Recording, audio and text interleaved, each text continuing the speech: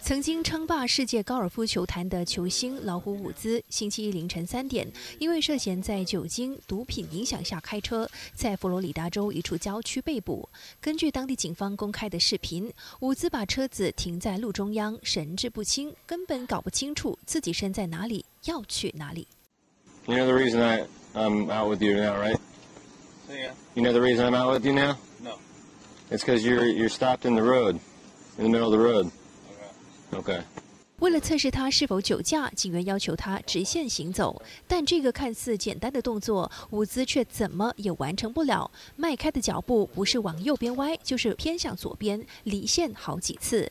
接着，警员要求他顺序念出英文字母表，问他是否还记得指令。他反问警员是不是要他向后唱国歌。之后，他以极其缓慢的速度念出了二十六个英文字母。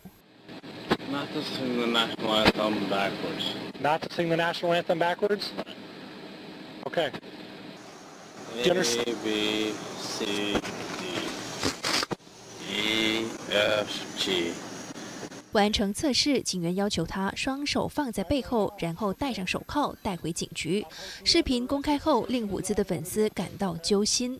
伍兹在被捕当天的几个小时后获准保释外出。NTV 七综合报道。